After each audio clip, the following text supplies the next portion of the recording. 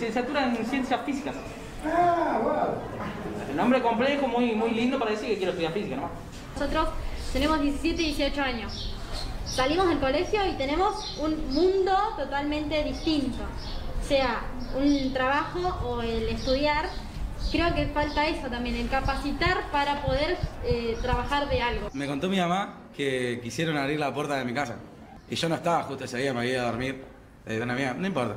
Y nada, la sensación de que mi mamá le pudo haber pasado cualquier cosa. Porque, no, aunque esté yo, yo no puedo hacer nada. Si entran tres tipos todos armados. Al final me terminó gustando con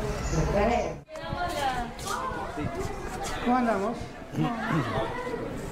A mí, la verdad, lo lo estoy mirando y no lo puedo creer, porque si alguien le aconsejó esto para que lo voten, es la forma más pedorra de hacer una campaña, ¿no? Y me acordé, me retrotrajo a la de Macri, que herido y todo, metió el 41% de los 41, votos claro. y metía 200.000 personas en la plaza, ¿no?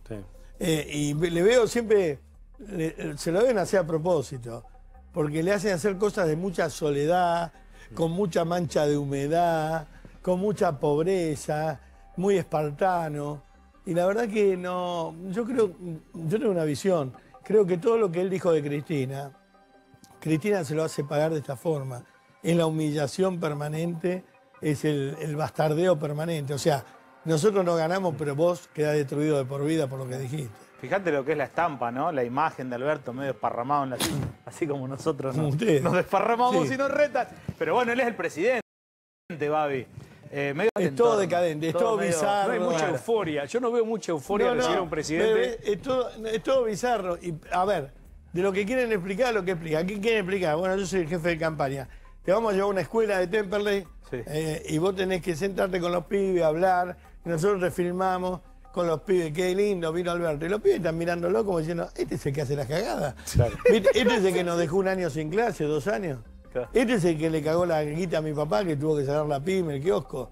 Este es, ah, mirá, lo hacía más grandote. Esa es lo que te vende.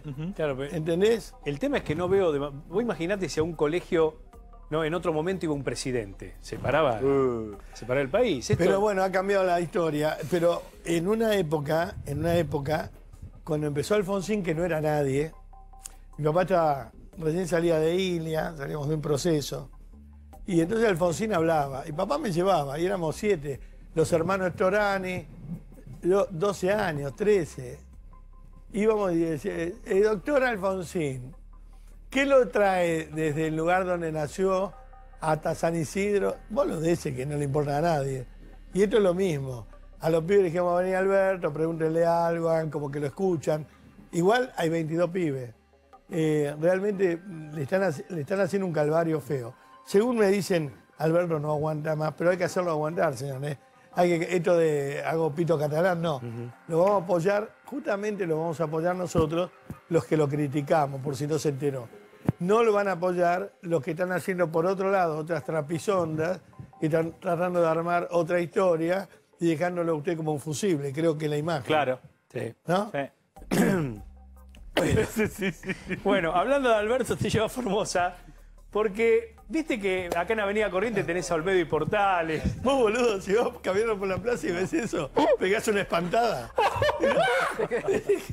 Mirá, Viste que, tenés, viste que acá en Avenida Corriente tenés a Olmedo, Portales, Porcel, creo que está Igual me parece una cagada, pero bueno, no importa. Fíjate lo que es Formosa, tenés a Perón, Evita, y mirá quién tenés con la guitarrita no, la- en, la, en, la, en la cabeza, en la cabeza, perrito. En la cabeza llena de mierda del, del gobernador de Formosa es Perón y Evita disfrutan la música que toca Alberto. Claro, claro. Mirá, mirá, mirá, mirá, mirá. Los dos perros. Ahora, Mirá, los dos perros. Yo nunca vi en una plaza un, un sillón de cuero. Por lo menos le hubieran puesto un sillón de caña. Claro. Pero, La alfombra me- pero yo. a mí la del aspecto de Alberto, con todo respeto, Alberto, yo te quiero. Es un borracho con una guitarra arriba de un tonel de vino, porque está arriba de un Claro. tonel sentado, con los dos perros que lo acompañan. ¿Viste un croto? Esa es la imagen que da. Es Diógenes Lillera. Claro, ¿Era mucho problema, Alberto, pregunto, ponerte un escritorio? Chame. Mirá, mirá el de atrás, está haciendo campaña allá atrás. mirá. Hablando, y Dylan le dice córtalas en papelones. Hablando de escritorio, hoy hablé con las autoridades. Ah, Ajá. No nos van a poner un escritorio acá.